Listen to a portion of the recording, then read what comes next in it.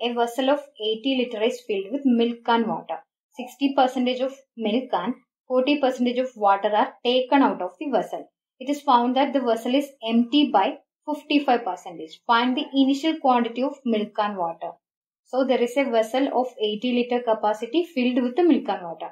But we don't know the initial quantity of milk and water. We need to find it out. But we know 60 percentage of milk and 40 percentage of water are taken out from the vessel. So this is an emptying process. After these two process, the vessel become empty by 55 percentage. So these three are emptying process. That is 60 percentage taken out means emptying the vessel. 40 percentage taken out means emptying the vessel. Now as a result of these two process, the vessel become empty by 55 percentage. So you can use the alligation method here. 60 minus 55 is equal to 5 percentage. You can write the number because you are taking the ratio. 55 minus 40 is equal to 15 percentage. That is 15. So if you take note the ratio 15 by 5 is equal to 3 and 5 by 5 is equal to 1. So 3 is to 1 is your initial quantity of milk and water.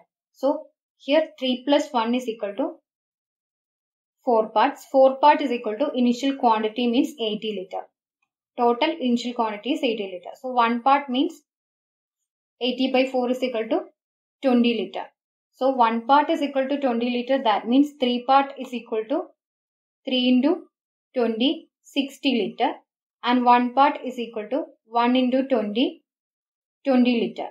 So 60 and 20. Here option D is your answer. 60 liter of milk and 20 liter of water were present in the initial quantity.